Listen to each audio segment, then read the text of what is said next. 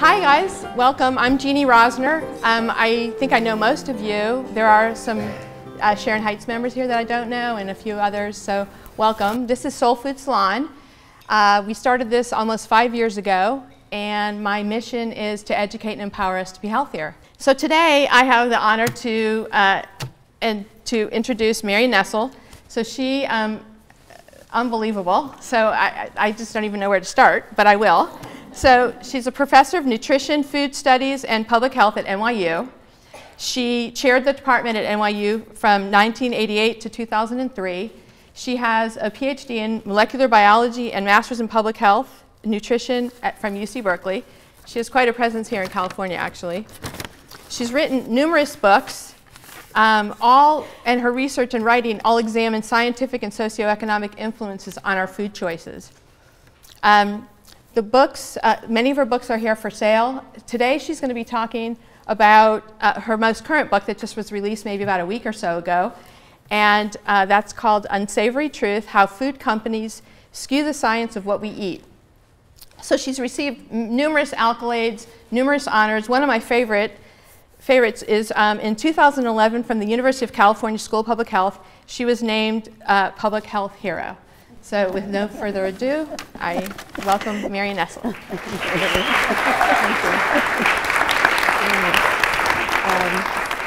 thank you, Jeannie. And thank all of you for coming. You risked your life to come here. I mean, and you're not wearing masks. You all should be, well, I'm a public health person. Everybody should be wearing a mask. So thank you very, very much for coming. It really makes me feel good. Um, this is, I'm here to talk about my latest book, and I have to say this book is really fun to talk about. Um, I, am kind of surprised at how much fun it is to talk about. I'm not sure it was that much fun to write, and the production of it was very difficult. But um, let me um, talk about it. So, um, I've been writing about food politics for a very long time. I have lots of books about food politics, and this book has a. This book came out directly from my previous work, and it turns out that in a stroke of absolutely amazing timing, I'm writing. A, this book is about a topic that is extremely public right now, and that is conflicts of interest and problems with, uh, with research in general, with science, and in particular with nutrition research. And uh, uh medical and science journals like JAMA and Science uh, have had whole issues devoted to the question of uh, improperly done science, and it turns out there's a whole new field that I didn't even know about called meta research, um, which is the study of the study of science. And it turns out I'm a meta researcher. I didn't know that. Uh, let me give you an example of what this is about in general. I mean, I, this was an article from the New York Times from March of this year. Um, in which a reporter, Roni Caryn Rabin, wrote a series of articles about how the alcohol industry had given the National Institutes of Health enormous amounts of money, $67 million, to do a $100 million trial of uh, one drink a day and the effects of one drink a day on heart disease risk. And um, her, she got a tip from somebody who worked at NIH that all was not on the up and up on this trial. She investigated, she used Freedom of Information Act to get emails between the investigators and the people who were doing the trial and the officials at NIH, and she was able to demonstrate um, what was certainly untoward influence of the alcohol industry on the investigators who were doing the trial, the design of the study, and the outcome of the study. Essentially, the investigators promised the alcohol industry that their study would show that one drink a day reduced the risk of heart disease, and they would not run the trial long enough to demonstrate whether alcohol had any effect on breast cancer risk or any other risk. Uh, when these articles came out, uh, this was very embarrassing to the NIH, big surprise. And the head of NIH said, okay, we'll do an investigation. He appointed a committee to look into this whole matter. Uh, that was in March. By May, they halted enrollment in the trial because it must have been obvious that the early results of the investigation were showing that this really wasn't going according to protocol. When the report came out, it was absolutely scathing about the NIH um, Institute's promise to the alcohol industry um, that it, the study would show benefit, and they stopped the trial. Even though they had already spent $4 million on enrollment in it, they stopped it. Um, the result of this was enormous embarrassment for NIH and all these articles like this how corporate funding can distort research, even at the National Institutes of Health. So basically, that's what this book is about. That all came out after the book had gone to press. Uh, the JAMA special issue on conflicts of interest, which came out in 2017, defined conflict of interest as a situation in which your professional judgment about something, such as patients' welfare or the validity of research, is influenced by money, basically. Um, I'm going to talk about food industry influence on nutrition research because I'm interested in food. I write about food politics. This is food politics. When I talk about the food industry, in this book at least, I'm talking about the companies that make and manufacture and sell all of the products that we love to buy in grocery stores. Um, these enormous multinational companies that sell these products all over the world, we love them and we buy them in absolutely enormous amounts. Now, I want to make it very clear that I am aware of the argument that personal responsibility for food choice is what we should be paying the most attention to. No food company is holding a gun to our heads, insisting that we buy their products. It's up to us to decide whether we buy their products. And this is the personal responsibility argument um, that yes, the food industry attempts to influence but, us, but we're adults, we should be able to make our own decisions about these things. And I'm completely aware of that argument. Uh, one of the things about that argument that fascinates me is that if you go on to Google and Google influences on food choice, you will get dozens and dozens and dozens of diagrams that look just like this one. This one's a little cleaner than most of them, so I like it. But what, what I find fascinating about it is the absence of anything related to the food industry on this formulation. It talks about peer pressure and lifestyle and cost and health beliefs, religious and moral considerations, food trends, skills, personal choice. Not one word about food industry efforts to try to sell you food products as if they were invisible. They're supposed to be invisible. If you're doing your marketing right, nobody notices it. And you, as a consumer, are responding to that marketing not cognitively. It slips below the radar of, cri of critical thinking. You don't even know it's there. And I think we need to reframe this discussion. And a lot of my work has been about reframing the discussion to focus more attention on what the food industry is doing, uh, to try to deflect some of that attention from personal responsibility, although I still think that personal responsibility is important. I also think that the role of food companies is greatly ignored. Okay, what are we supposed to eat? This is the dietary guidelines for Americans that came out in 2015. And the dietary guidelines, they're very hard to understand, and there's a lot about them that I don't like. But the basic take home message is that you're supposed to be eating more of uh, real unprocessed foods and less of junk, what we call junk foods, rudely. Uh, highly processed foods that are of low nutrient density, high in calories, full of fat, sugar, and salt um, junk foods, in other words. Um, dietary, even though the dietary guidelines are very complicated and they take 150 pages to say what they say, um, I'm fond of showing uh, the journalist Michael Pollan's summary of food advice because he can do it in seven words. Eat food, not too much, mostly plants. Really, that's all there is to it. Really. Um, I have another way of putting it eat better, which means less processed food, eat less, move more. and please don't eat my book. Um, but if it seems more complicated than that, it's because the effect of the effect of that kind of very straightforward, simple, eat real food advice on the food industry. Uh, the real problem and the underlying problem with that kind of advice is that fruits, vegetables, whole grains, meat, dairy products that you cook, they're not profitable. The profits in the food industry are in highly processed added value foods where the ingredients can be purchased at very low cost and the products can sit on the shelves for a long time. That's where the money is. And that, it seems to me, is the underlying problem here. And I think the genesis of that problem has to do with what our food supply looks like. And I like this particular one because it compares body weight, the trend in body weight in the United States from 1970 to the early 2000s to the calories in the food supply from uh, over the same time period. Um, from 1980 until 2000, the number of calories in the food supply available for consumption, not what people are actually eating, just what's available to consumption went from about 3,000 to 4,000 calories a day. Food production increased during that period.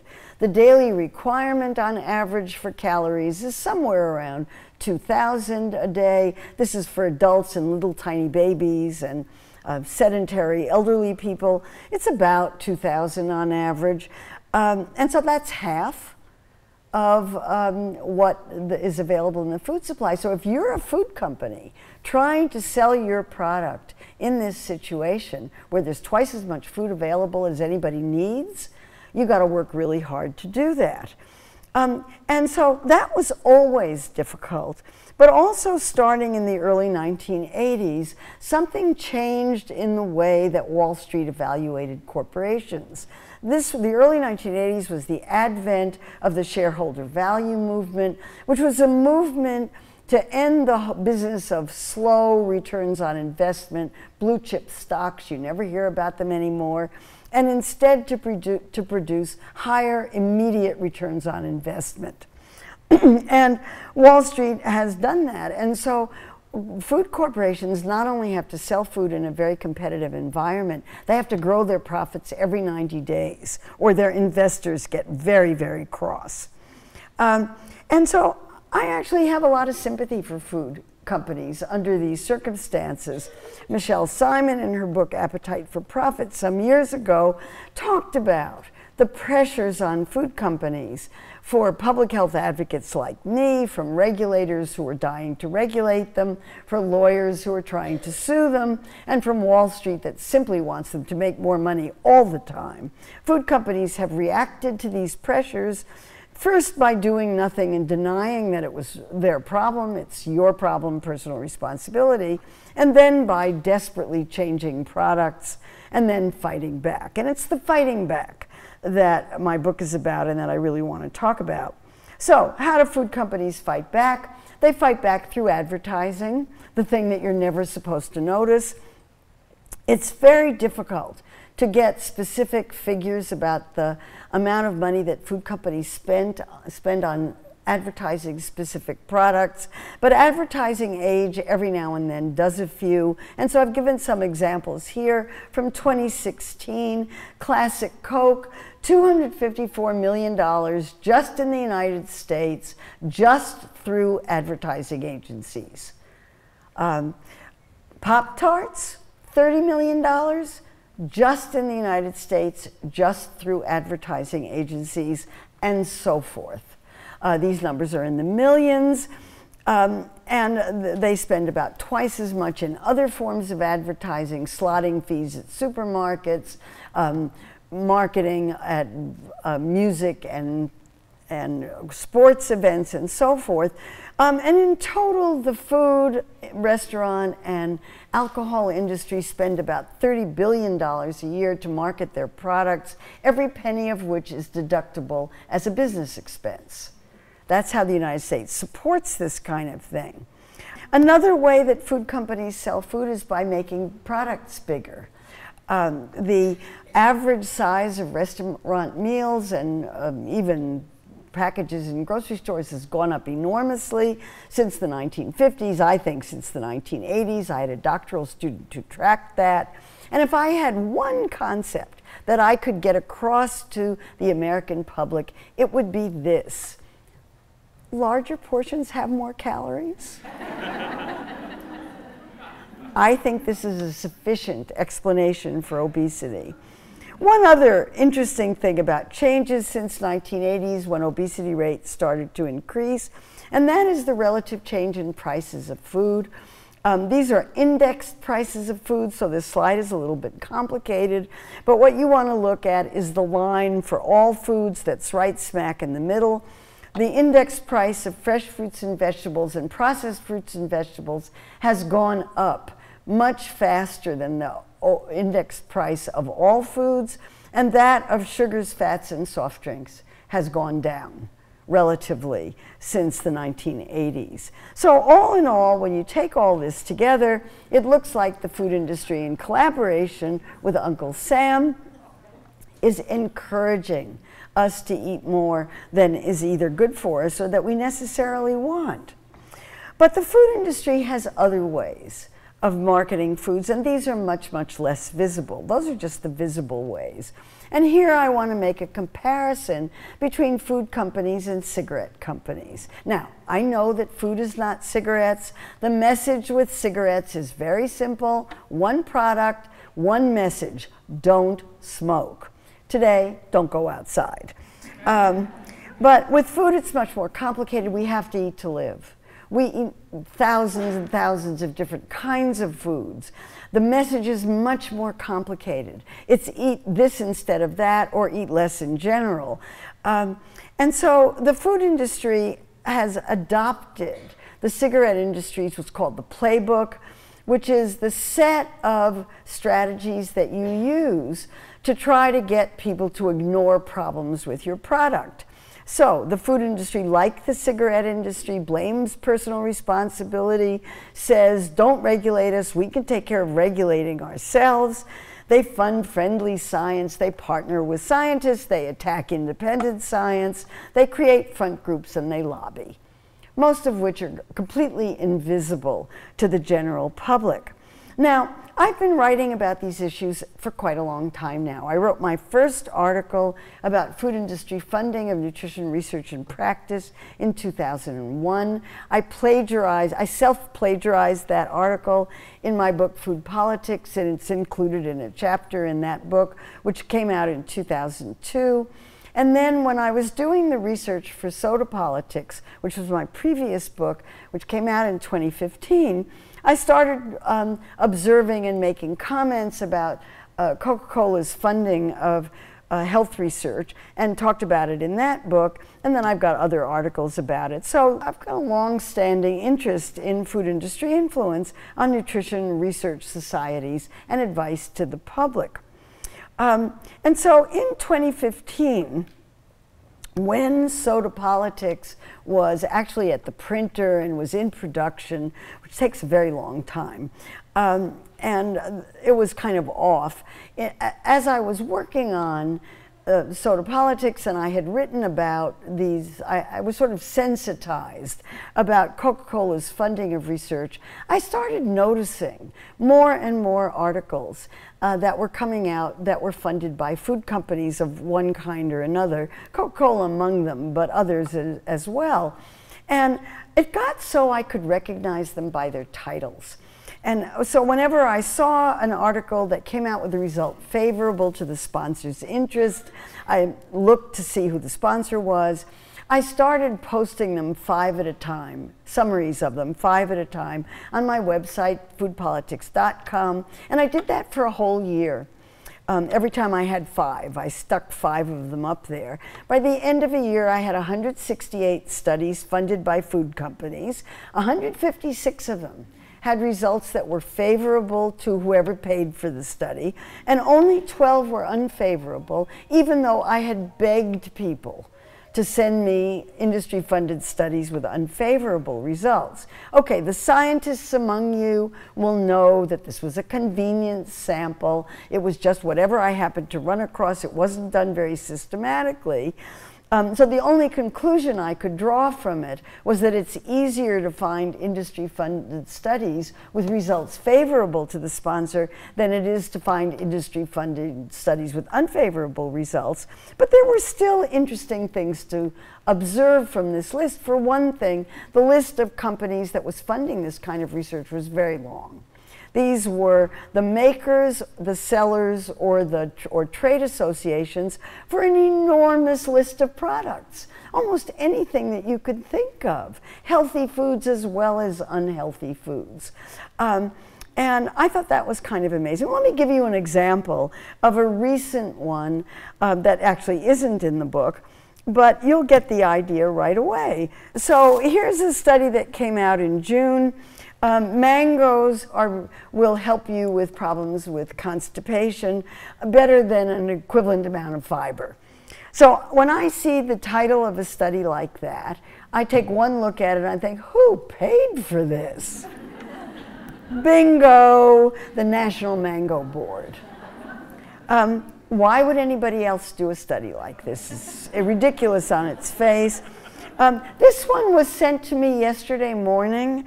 I just love it. It's my current favorite. It's in a journal called Scientific Reports, and it says beer prevents the cognitive deficits that occur with Alzheimer's. What? Problem solved. The investigators are Japanese you want to take a guess on who funded this? I mean, this was immediate. Who paid for this?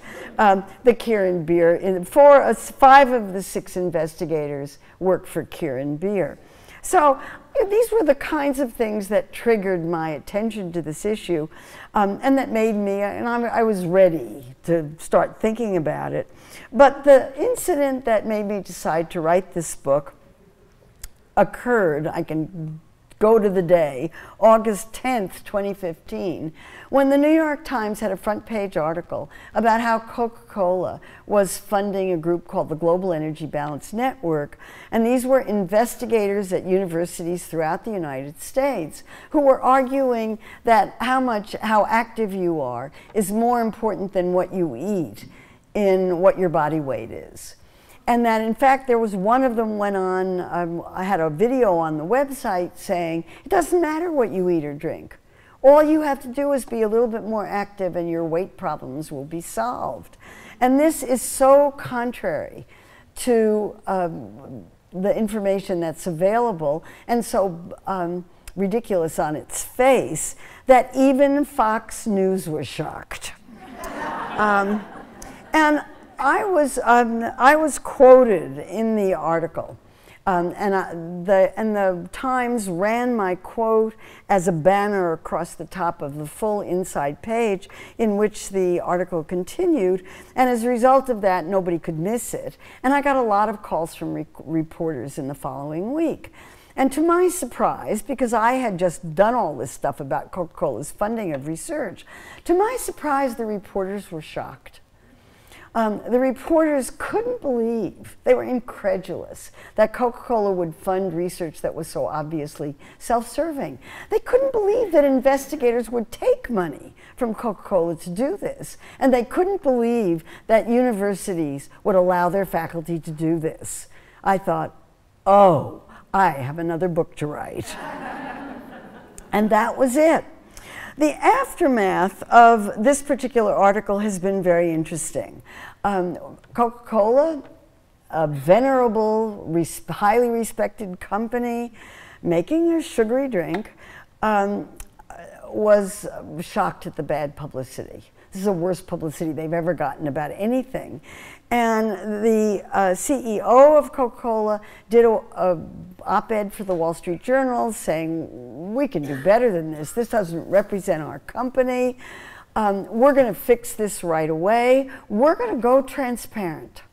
We're going to post on our website every single pub, every single group and every single individual that we fund.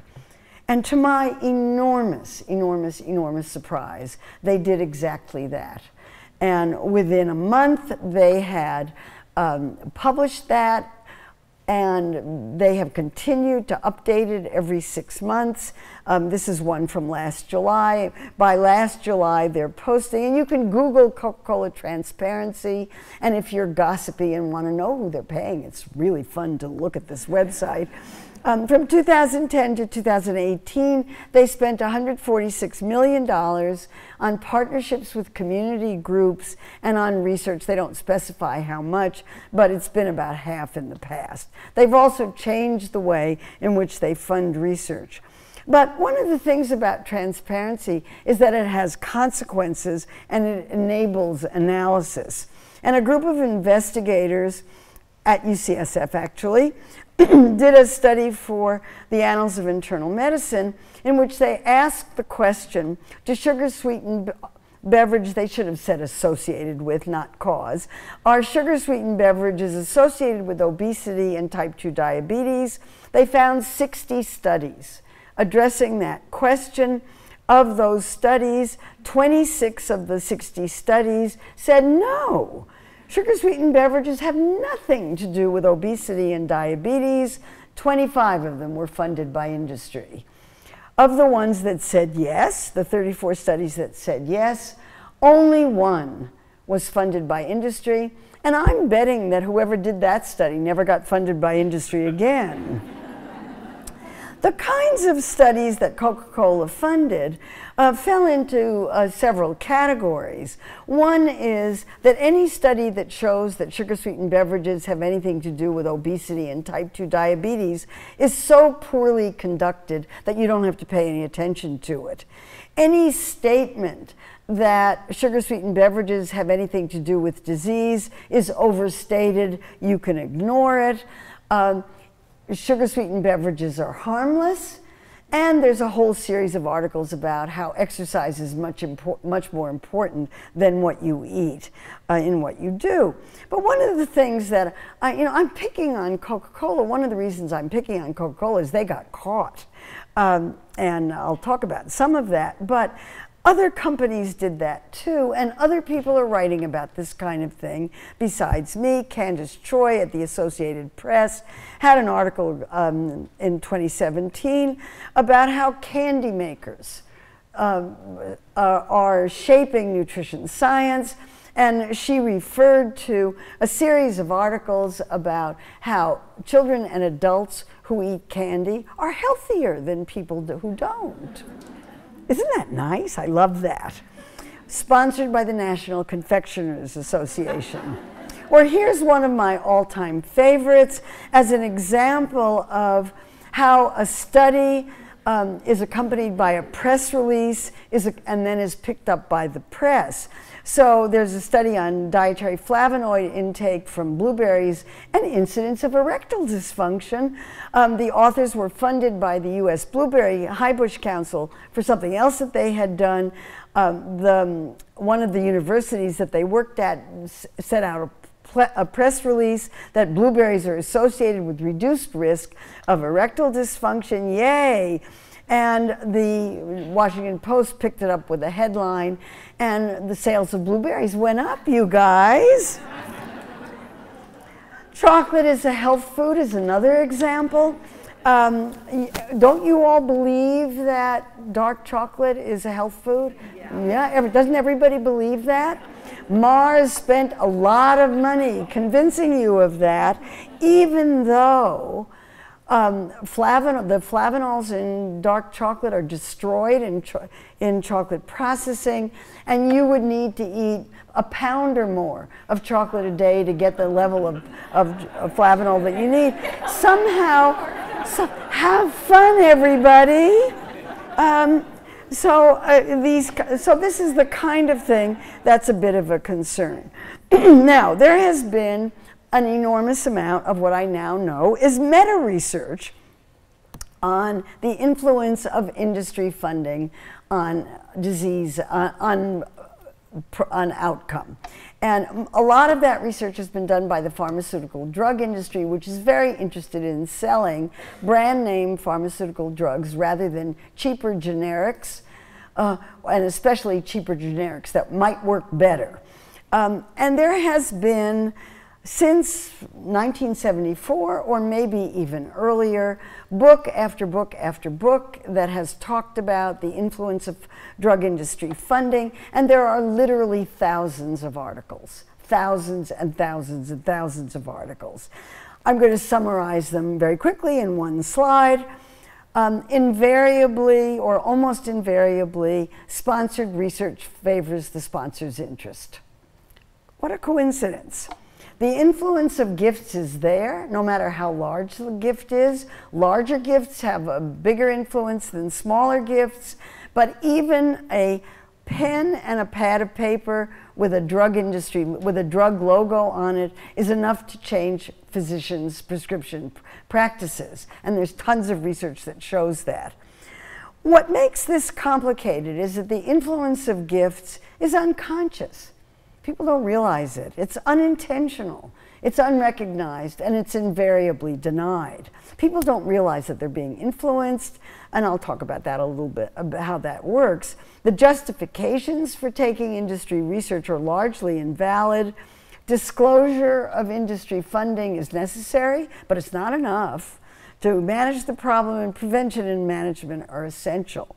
And in response to a recent example of drug industry financial contamination, the New York Times had an editorial pointing out that decades of research and, ex and examples show that financial entanglements can distort the practice of medicine in ways big and small. One reason why we know so much about drug industry research is that it's measurable. And certainly since 2010, when the Affordable Care, the Affordable Care Act had a lot of good things about it. The Physicians Payment Sunshine Act was part of that. And that act required that drug industries disclose the amount of money that they spend um, on hospitals and on individual physicians by name, and you can go look it up. And all you have to do is go onto Open Payments Data, cms.gov, and you can, at a glance on the cover page, show that in 2017, more than 1,500 drug companies spent more than $8 billion on more than 600,000 doctors and more than 1,100 teaching hospitals. And thereby, people have been able, because they have this information, they've been able to measure the effect on prescription practices on decisions on advisory committees um, on the outcome of research and on public trust. Measurable. In contrast, the situation um, looking at funding effects in food and health is much, much more limited. In doing the research for this book, I was able to find precisely 11 studies looking at the outcome of industry funded research on um, food and on health.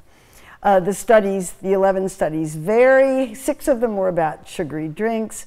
They vary in the health effect, the methods, and the outcome, but in general, they support the kinds of conclusions that are found with drug industry funding. They favor the sponsor. They skew the research question. They put a positive spin on the results. Now, how the funding effect works has also been the subject of study.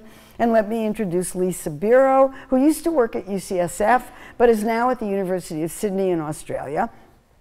And she studies um, how bias works in research. And she reports that bias can enter into any stage of the research pro process, the question, the design, the methods, the conduct, in the reporting.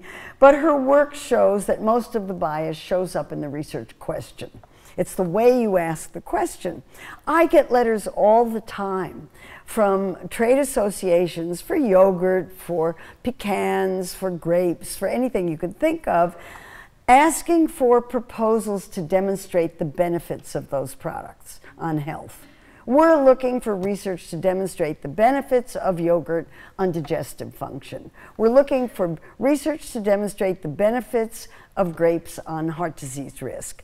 There's a big difference between asking that question and saying, what is the effect of yogurt on health? Big difference. Um, and that, I think, is where the problem lies, and that's certainly what her research shows. Well, let me say that there's are consequences of industry funding. Um, and the, these two have been measured. Uh, sci the scientific research, the scientific risks are biasing the research agenda, the results, and the interpretations. We see distorted dietary advice as a result, and loss of public trust. There are personal risks for researchers. They lose opportunity costs. People won't put them on prestigious um, committees if they're too tied to food companies.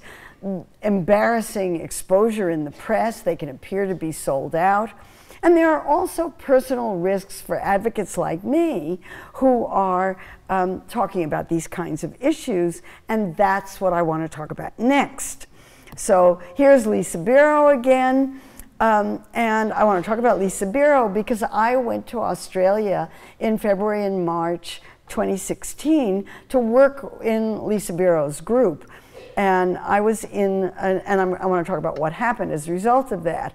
Soda Politics had just been published, it was out, um, and I was in Australia early 2016. In January 2017, a year later, you might remember that there was a big scandal about how the Russian government was hacking the emails of Hillary Clinton's campaign. You probably are wondering, why on earth am I talking about that? Well, um, earlier than that, in October 2016, um, a bunch of, of emails from Hillary Clinton's campaign people were posted on a new website called DC Leaks.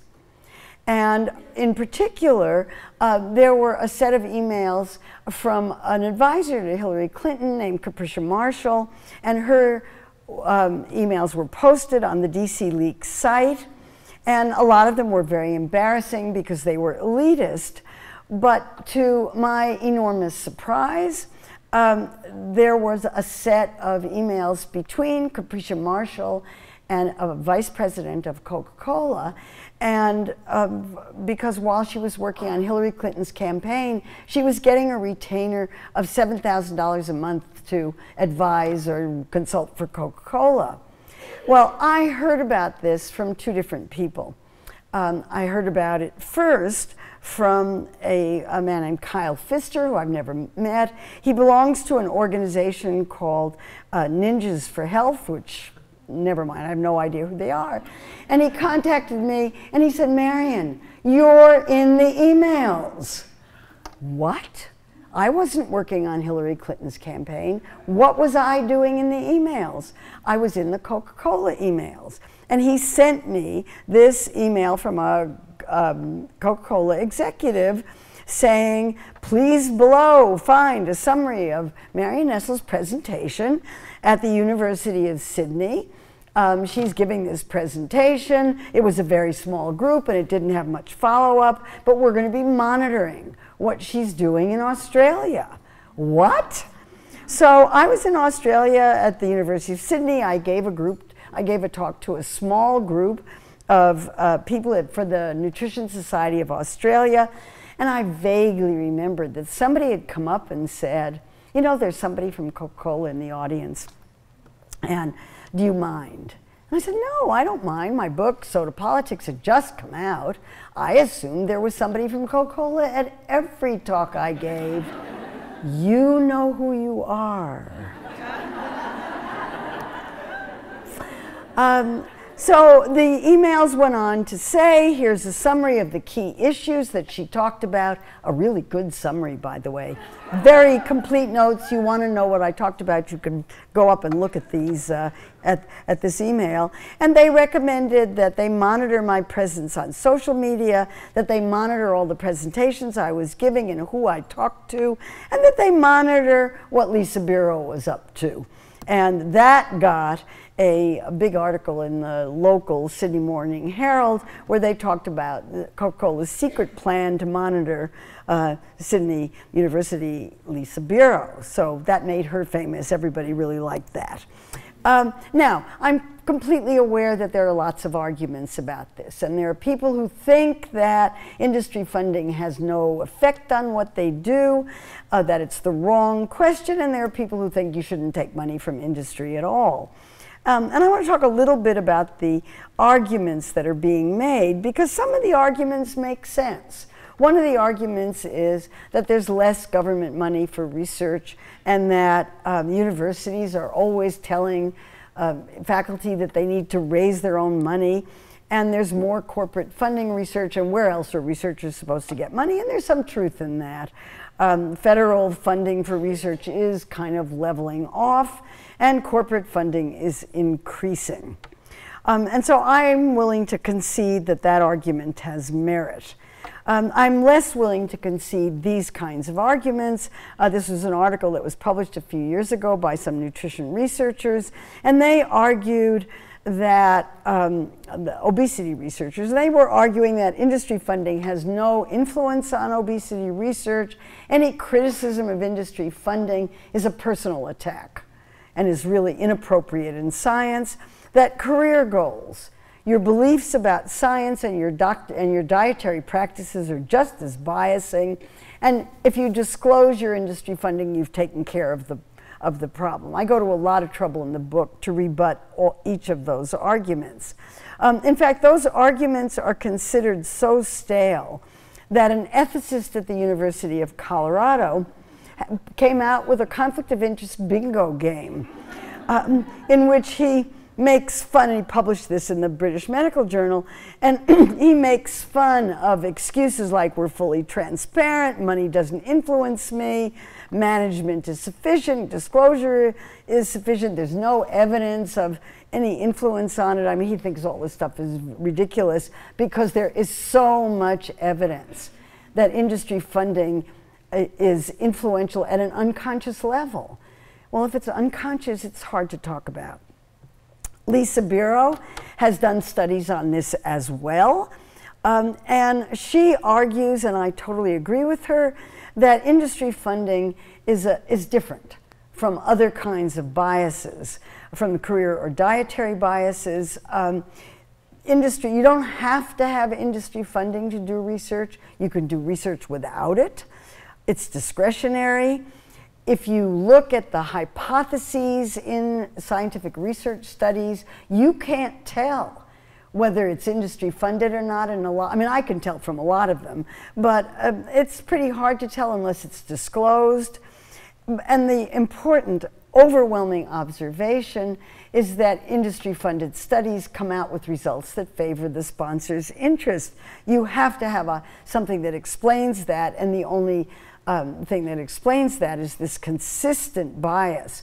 Whereas independently funded studies, uh, the hypotheses differ, the results are all over the place, um, and, uh, and they're different. Anyway, I would argue that they're different. I want to say something about disclosure. Um, the New England Journal of Medicine was the first journal to require investigators to say who paid for their studies and whether they had any financial ties to the funder of the studies or to anybody else who had a financial interest in the outcome of the studies. Nutrition journals were much later in adopting those kinds of practices. Scientific journals were even much later. Um, but by now, disclosure is uh, understood to be generally a generally accepted practice, and most journals in biology or any kind of science require it. How well are the disclosure requirements followed? Mm, not as well as you might like.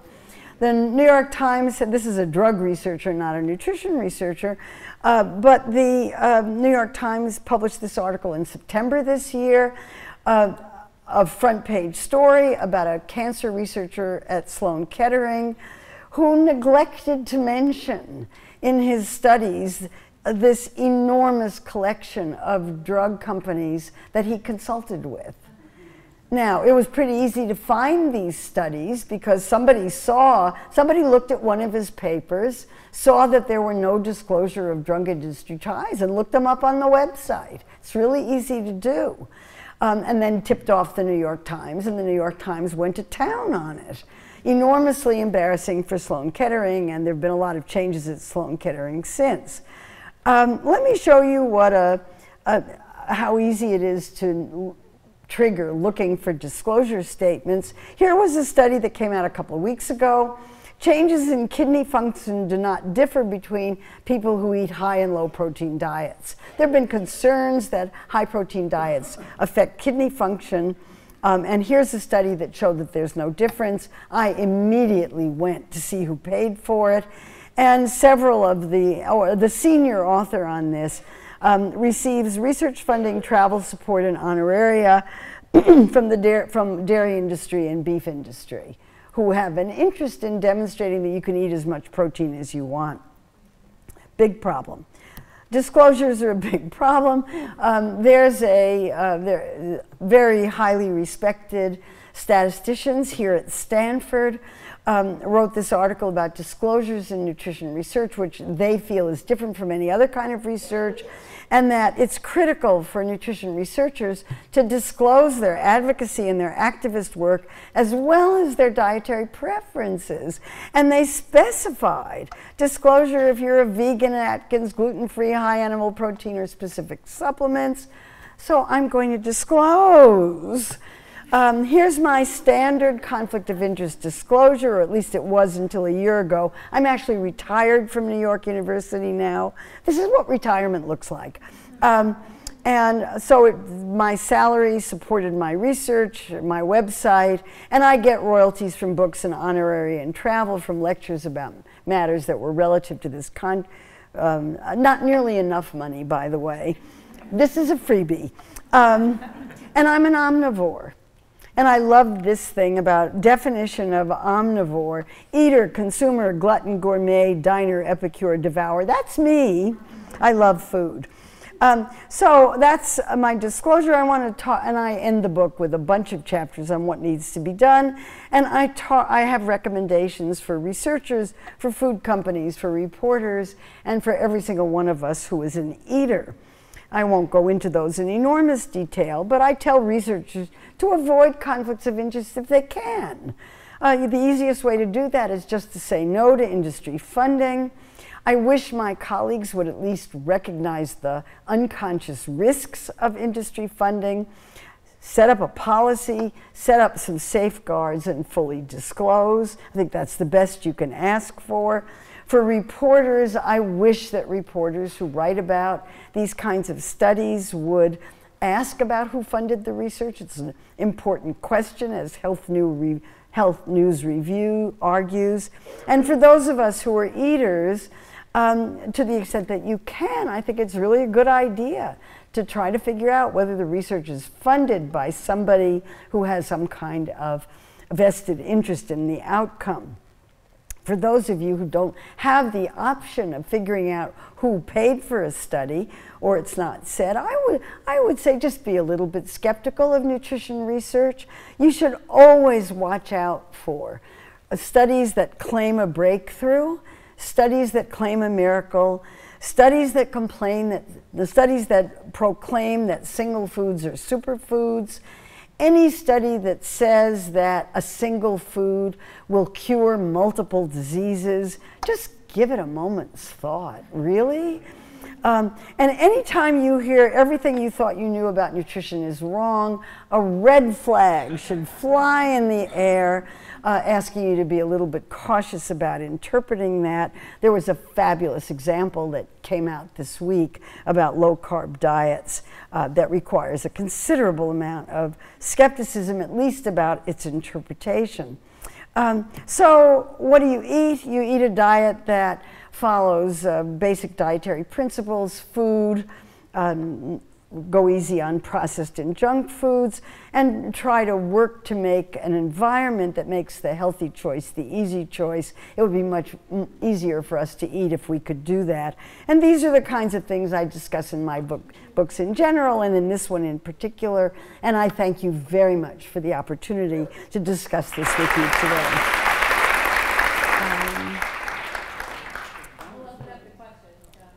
Oh, you want me to handle the questions? I'll handle the questions. Yes. What motivation would Disney, shout? What motivation would Disney have to fund studies. Ah, Disney would love for people to think that all the junk food they serve is really okay. So it has to do with their theme parks. Yeah, and at their theme parks. Yeah, they have a big interest in that, and they're eager for people to think that the kind of thing that they're um, selling there is just fine. So, yes. Um, what do I think about the UC Berkeley Wellness Letter? I'm a subscriber and I have been for years. I think it's very good. You know, it's written by UC Berkeley faculty and it's really cautious.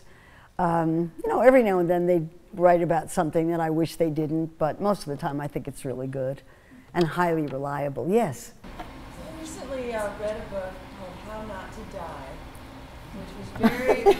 good luck with that. I haven't done, sorry. Then I can't ask you to comment, but it, it's Uh-huh. chock full of single food, um, miracle foods Okay. that are supposed to cure cancer, prevent Mhm. uh, all these diseases, uh, and it and it cites a tremendous number of studies Mhm. that reinforce. And I was just curious if anyone knew whether I can't remember the name. Yeah, I, I'm not I'm not familiar with the book. I'm sorry? Uh, Dr. Greger from. Oh, it's Greger's book. Greger's book. Oh, I love him. I know. I just love I him. love him, but now I. You know, he has the, he's actually really a careful researcher and very careful. He's a vegan. And so he comes from a vegan perspective, but he has these little videos that I think are fabulous. Um, I don't, uh, yeah, I, the title of his book, I, I don't like the title, so I, so I forgot about it. Yeah, I, um, the, um, uh, yeah, he's very, very good, and the studies that he cites are pretty reliable. and the only thing that you need to know is he really doesn't think that people should be eating any kind of animal products. But if, if he's talking about anything else, it's really, uh, it's good, and he's really fun. Yeah. Yeah, first of all, I just wanted to say thank you for your talk. Um, it's a really important subject. And I just had a question. Um, well, so I'm a, I study food policy at UC Davis. And uh, so I had a question about um, your slide, sort of talking about the broader context of Talking about what? I'm the sorry. broader context of lack of government funding and sort of your advice for what researchers should do given the environment, Mhm. lack of environmental funding, and on top, or lack of funding for, for research. And on top of that, sometimes it can be even difficult to know where your funding is coming from. So just as an example, I did a study recently on food waste, and it seemed like the funding was coming through one organization, and I thought, and then it, when we kind of traced it back, we realized it was actually coming through Walmart. Um, but it, it kind of took It was laundered. layers of making works like that, right? Uh-huh. So. So, so, so that context, and then also, um, if you could comment.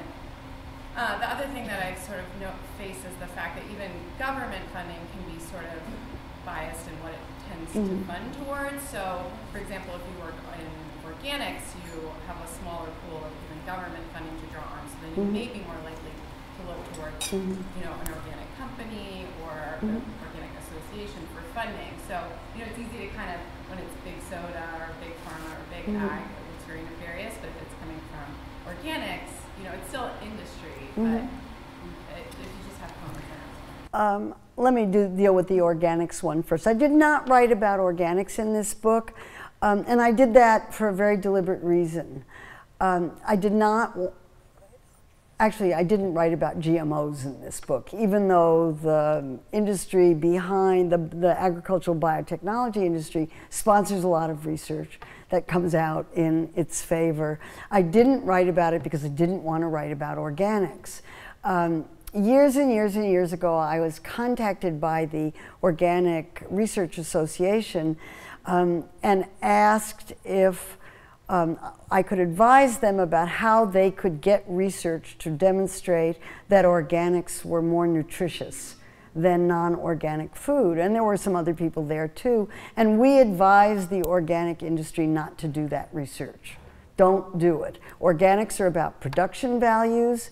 Um, you want to prove that organics have fewer pesticides, go ahead and do it. This is, uh, you know, and fewer toxic pesticides. That's really important research. If you get into the nutrition area, you're going to be crossing a line and getting yourself into a lot of trouble. They did not listen to me.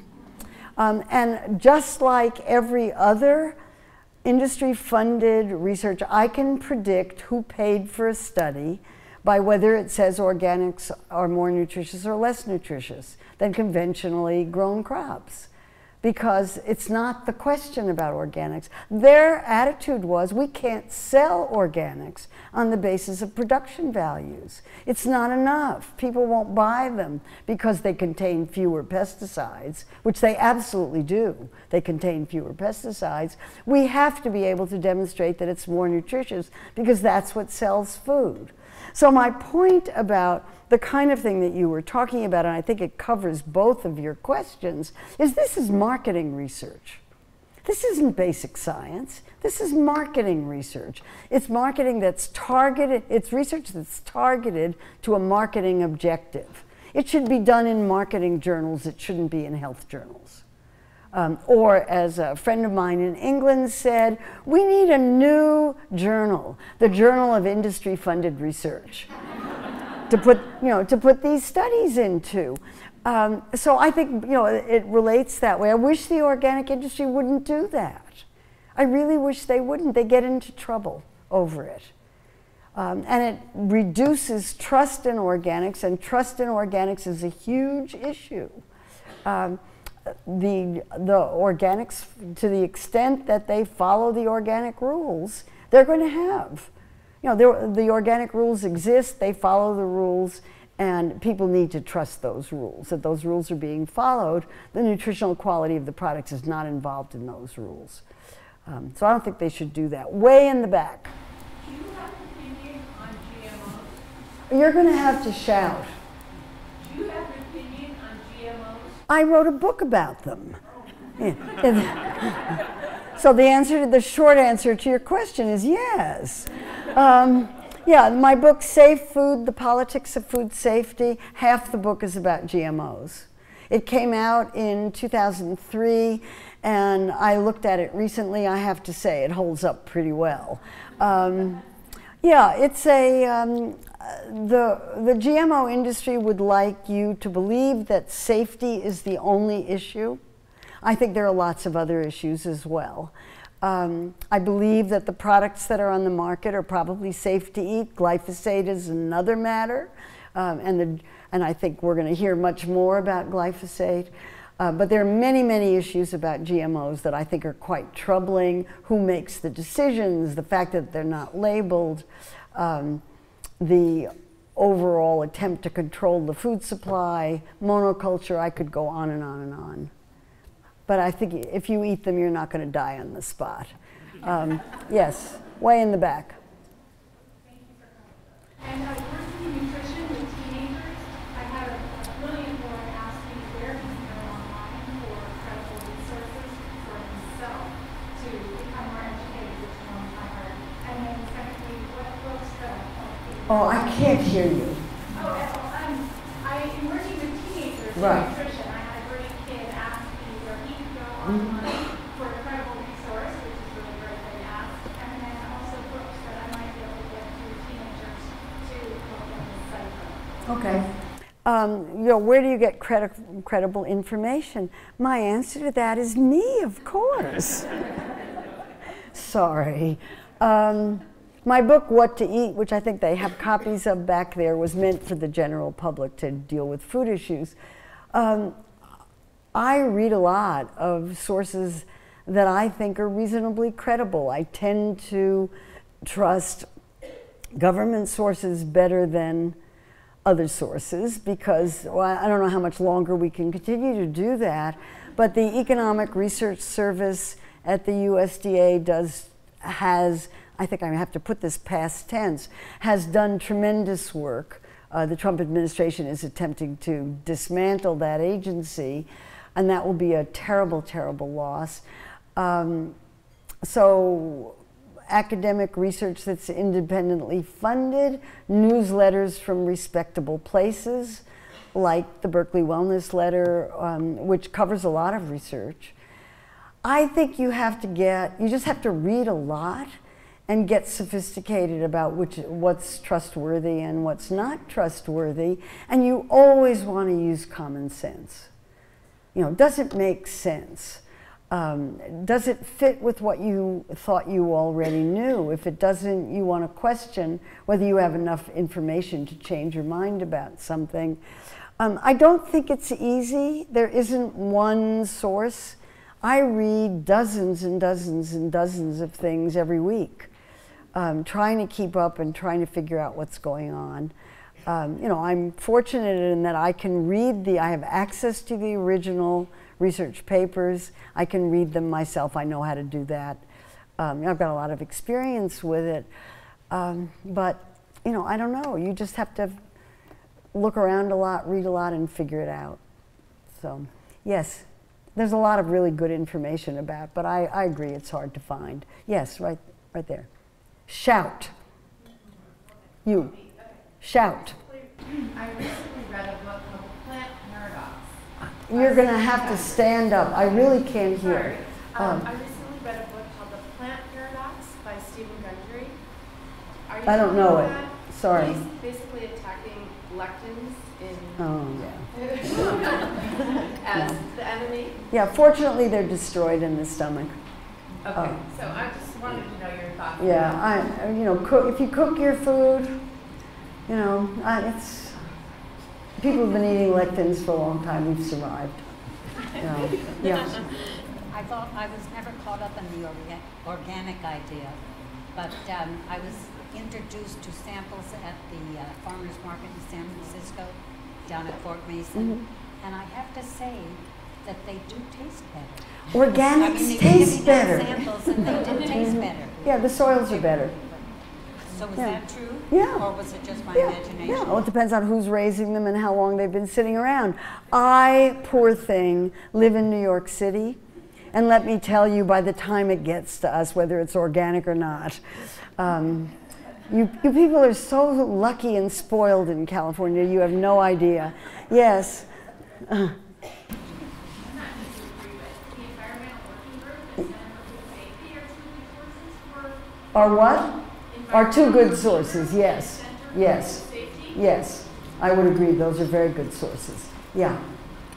I have some concerns about the quality of water Oh. in the United States, and I wonder to what extent you've looked into the commodification of water and the relationship between that and, you know, we're hearing all of these reports of the deteriorated deterioration of the water infrastructure in this country, mm-hmm. and I'm just trying to think, could those things be attached to one another? Oh, The- absolutely. The, commodification Absolutely. and the infrastructure report.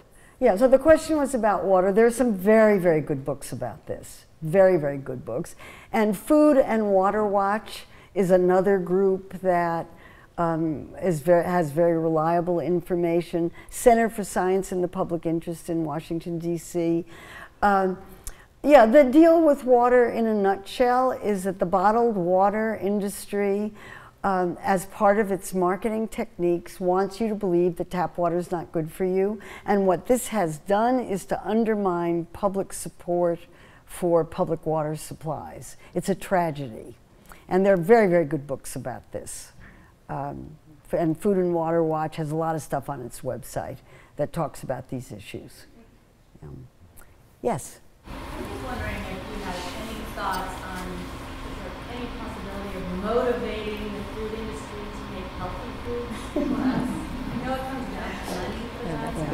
Uh-huh. Okay, yeah, I mean, it's working. Um, the question was about how can you motivate the food industry to make healthier products? All you have to do is buy them. I mean, from their standpoint, it's really simple. We would make healthier products if anybody would buy them, but people don't buy them. Here, we put out this terrific low fat, low sugar, low salt product, and nobody wants to eat it. Um, so there is personal responsibility, right? They're blaming you. I think it's a terrible problem for the food industry because the products that sell, that have been marketed most heavily, are the ones that are most profitable for them. If they can't make money, they can't stay in business. You know, I mean, so food companies are not social service agencies. They're not public health agencies. They're businesses. And they're businesses that have stockholders that demanding higher and more immediate returns on investment every day. That's really what they're about. So to expect them to produce foods that are going to promote health is totally unreasonable. It doesn't make any sense unless they have a business model where it sells. You know, I mean, kind bars. Now, kind bars are, were a new invention from a guy who's a really smart marketer. Um, and he's marketing them as healthy and they're sold everywhere and they're everywhere in the world and they're on airplanes and hotels. You can't go anywhere without seeing kind bars. Are they healthier? They got nuts in them. They do. Whole nuts. You can see them. They're right there. They're right there. I actually don't think they're sweet enough, but never mind. Um, but never mind. I mean, so that's an example of a huge success story, an enormous success story. Um, but for Coca Cola to change its products is much more difficult. After my book Soda Politics came out, I went for the first time to Coca Cola World in Atlanta. Any of you ever been there? Anytime you go to Atlanta, don't miss it. It's wonderful. It's really wonderful. So you go through and they have this um, video that you have to watch that's very very touching.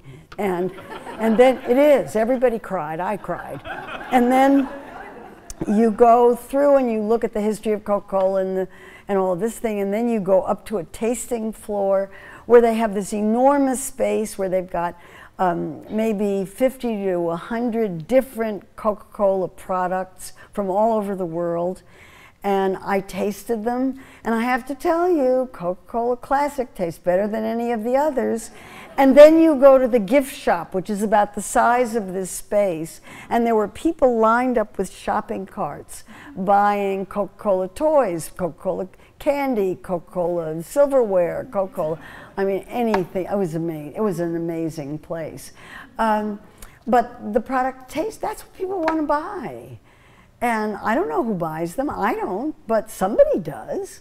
And they're, they're desperate to find a product that people will buy it the same way that they'll buy classic Coca Cola. Are they putting as much money into marketing? Of course not. Complicated. Yes. Well, in terms of um, influencing big food to produce products that are healthier, perhaps we could vote with our dollars by supporting some food disruptors today, uh, small capitalists who are producing better and healthier foods, which then are being purchased by companies like General Mills and mm-hmm. Coca Cola. And that's one way we can begin to see a shift in the entire paradigm of what big food will produce in mass market. Yeah, and there's a, the question, the, I mean, then there's no question it's already happening. I mean, look at all the companies that have taken artificial colors out of their products. Is artificial colors the big issue in food? No, but it's nice that they're gone. Um, they didn't need to be there, and the um, you know that's a step. And there are lots of other companies that are trying to reduce the sugar, trying to reduce the salt. Um, and to the extent that they can get away with it and people don't notice, they'll do it. I think regulations would be really helpful, but we're not going to have regulations, at least for a while. Uh, so you vote with your fork. You buy every time you you make a food purchase, you're voting with your fork for what you think is the right kind of food. If you shop at farmers markets, you're supporting local farmers. If you buy artisanal food, you're supporting the people who are making those foods. That, that's making a difference. And every big food company knows that. They know that you, this audience, right here in this room, are the influencers that they want to influence in the, um, in the food system. So you are having a big effect on what they're doing. They're struggling to figure out how they're going to deal with the pressures to make healthier and more environmentally sustainable food, because those are the two big issues. Um, they're all struggling with it. If you have any ideas for them, you should let them know. Yes? I'm probably going to put this in a politically inappropriate way, but I kind of think the people in this room are the 1%. And so you've got the 1%, and then you have 99% maybe don't have the opportunity mm-hmm. to buy, to speak with their wallets in the mm-hmm. same way that I will. Mm-hmm. Yeah, I mean, that's now we're into food politics in a serious way. Um, I showed you the slide of the indexed cost of foods and showed you that fruits and vegetables and healthy food are relatively more expensive than junk food. That has a lot to do with federal policies on what gets subsidized, what gets supported. Um, and remember that every penny of marketing of junk food is deductible as a business expense. So we need to change the political system. That's what that's about. You vote with your vote with your fork, you also vote with your vote. No. Yes. I'm curious about the impact of research. Do companies, they care more about the marketing impacts? In other words, I don't read a lot of research in the press. Are they hoping that people buy the product more because the research is favorable, or are they trying to protect more perhaps against uh, negative regulation? Well, they're doing, it depends on what they're, they're making. If you're a blueberry producer, you want people to think that blueberries have antioxidants that are going to prevent 20 different diseases.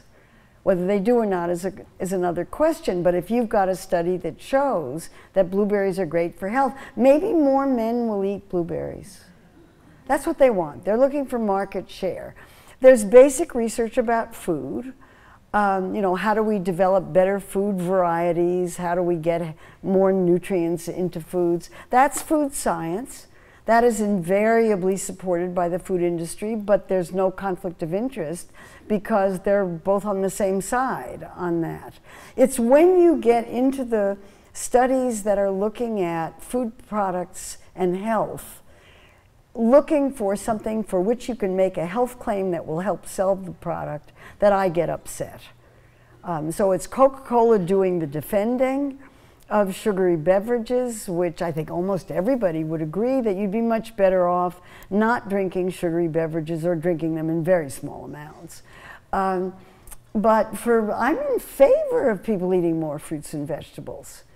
But if you just give it a moment's thought, we eat a variety of foods. Does it really matter whether you eat pecans or walnuts? Really? You know, you should be eating both of them in not too enormous quantities. Um, and, and that's, you know, a healthy diets have a variety of unprocessed foods. There was a study that came out quite recently that variety is really bad for you. If you eat a variety of foods, you're going to be fatter. Um, but what kind of foods? Yeah, if you eat a, you eat a variety, uh, that was in the American Heart Association journal. I don't know what they were thinking. Um, but the advice is to eat a variety of healthy foods. Um, so yeah, eat blueberries, eat strawberries, eat raspberries, eat blackberries. I don't know. I mean, mix and match that takes care of nutrient that takes care of nutrients. Enjoy what you're eating. Food is one of life's greatest pleasures. I get so upset when i meet people who are so who are really anxious about what they're eating. It should be food should be delicious. You should eat it just not too much. I don't know. That's kind of where i'm coming from on this. Um, so we nobody else? One more. Yes. So I'm just curious, we were getting it just a minute ago, I think, but um, to what degree does your book or your research um, explore how the food industry? Well, it's, it's in there all the way through because organics are much more expensive than conventionally grown food for very good reason. Um, it takes much more labor to get into there. I mean, our food system, and I probably talk about food system most in my book, What to Eat. You know, our food system has inequities built into it. Just look at what we pay farm laborers. You know, there you go. Or what we pay restaurant workers. Um, so it, it underlies, it's not what I'm dealing with specifically, but it's in there. So in pretty much everything I write about. At least I hope it is, yes. One last one. now I'm wondering if stuff I've read is true or not. Um, over the years, there's been conflicting reports on coconut oil. On coconut oil. And when I look at when I look at it in the jar, I can't imagine that in my arteries. Uh, right. Mm. Okay, what am I going to say about coconut oil? You know what I'm going to say. Everything in moderation. Um, you know, uh, well, canola oil is l- less saturated. There's a, a new paper that just came out this today in Science that is kind of a, a, a review of the situation on dietary fat. And uh, so they got together a group of people who don't agree about dietary fat to see where their consensus statement was. And their consensus statement is that unsaturated fatty acids are healthier than saturated ones, but any food fat, any food fat, even coconut oil is a mixture of saturated, unsaturated, and polyunsaturated fatty acids. They're just in different proportions. You never want to focus on one thing. You always want to mix the foods you're eating, mix the kinds of oils you're using, mix the kinds of things you're putting the oils on. And, you know, I love the taste of coconut oil, uh, but you don't need very much to get a really great taste. Enjoy it if you like it, don't eat it if you're worried about it, and definitely in moderation. Yes. Is moderation and variety a good principle for dietary health? I think moderation and variety are essential if they're if they have subtitles. Uh, so for variety, it's variety of healthy foods. For moderation, it's how do you define it, and that's going to be different for every individual.